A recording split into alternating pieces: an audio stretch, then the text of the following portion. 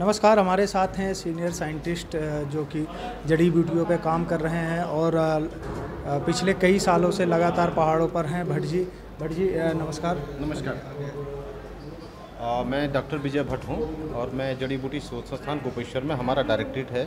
मैं वहाँ पे सीनियर साइंटिस्ट हूँ और आज यहाँ पे विशेषकर जो कॉडिसेप्स हमारा मशरूम है मेडिसिनल मशरूम है उस पर मुझे यहाँ पे इनवाइट किया गया है लेक्चर देने के लिए। डॉक्टर साहब कितने दिनों से आप इस फ़ील्ड में हैं और जो ऊपर की जड़ी बूटी हैं और जी खासकर जो कीड़ा जड़ी कही जाती है, इसके बारे में थोड़ा सा प्रकाश डालिए। मैं पिछले तीस सालों से हाई अल्टीट्यूड में काम कर रहा हूँ और कीड़ा जड़ी पे अभी, जैसे मैं आपको ये बता दूँ, मैं ये ये कीड़ा जड़ी है, अगर आप इसको देखना चाहें। इसको कीड़ा जड़ी सबसे पहले तो क्यों बोलते हैं कीड़ा जड़ी यहाँ पे लोकल भाषा में? ये जो नीचे का पोर्शन होता है, ये तितली का लार्वा है। तो ये लार्वे को लोग लार्वा नहीं समझते, ये कीड़ा समझते हैं। और जो मशरूम है कॉडिसेप्स साइनेंसिस जिसके नाम पे इसका नाम पड़ा हुआ है, ये ऊपर वाला, ये ये जो फंगल पार्ट है, वो ये है। तो इन दोनों से मिलकर के ये बनता है। और अगर आप मुझे ये कहें कि इसने पिछले 20 साल में उत्तराखंड के अंदर पिथौरागढ़ और चमोली और बागेश्वर में कुछ कुछ मायने तक, इन जगहों पे, इन जनपदों में इसने इकोनॉमिक रिवोल्यूशन लाया है। लोगों की मतलब हज़ारों लोगों की इकोनॉमिक्स बहुत अच्छी बनी है इससे। और लोग मतलब जिनके पास पैसे नहीं थे, जिनके पास रोज़गार नहीं था, उन्होंने इससे बहुत अच्छा पैसा कमाया है। और अभी भी एट प्रजेंट भी, ये एक बहुत बड़े रोज़गार का साधन हमारे हाई एल्टीट्यूड का बना हुआ, विशेषकर पिथौरागढ़ और चमोली में। डॉक्टर साहब, इसकी जहाँ तक बात की जाए तो ये ज़्यादातर जो है स्मगलिंग होती है इसकी। और इसकी पकड़ भी है। कई बार कई जो व्यापारी हैं वो इसको ले जाते हुए पुलिस पकड़ लेती है। तो ये क्या, इसको क्या आप जो नॉर्मल जड़ी बूटियाँ हैं उस तरह से इसको यूज़ नहीं कर सकते? नहीं, देखिए, ये आपने बहुत अच्छा प्रश्न किया है और मेरा यहाँ पे जो लेक्चर का तरीका है, जो लेक्चर देने का मेन उद्देश्य है, वो भी यही है कि अधिकतर हमारे जो स्टेक होल्डर्स हैं, चाहे वो किसान हैं, चाहे वो ट्रेडर्स हैं, चाहे वो मैन्युफैक्चरर हैं, किसी को भी पता नहीं है कि उत्तराखंड के अंदर केवल एक ऐसा मशरूम है कीड़ा जड़ी जिसकी पॉलिसीज़ ए टू जेड बनी हुई है। इसमें कहीं भी इलीगल की बात नहीं आती है।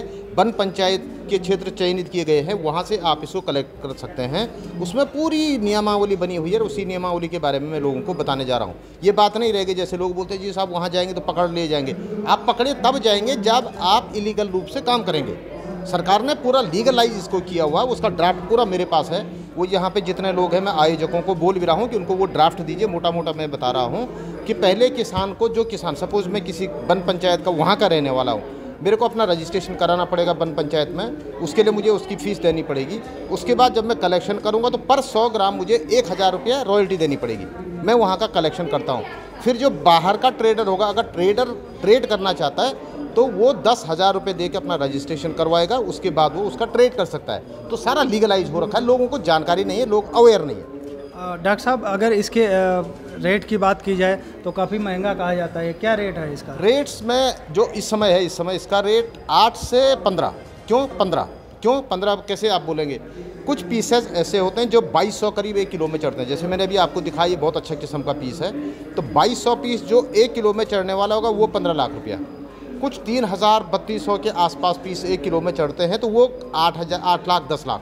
तो इसके आसपास इसका रेट रहता है। और अगर पर पीस की बात करें, आप तो जो ये कलेक्शन करते हैं तो पाँच सौ रुपये मिनिमम एक पीस का मान लीजिए आप।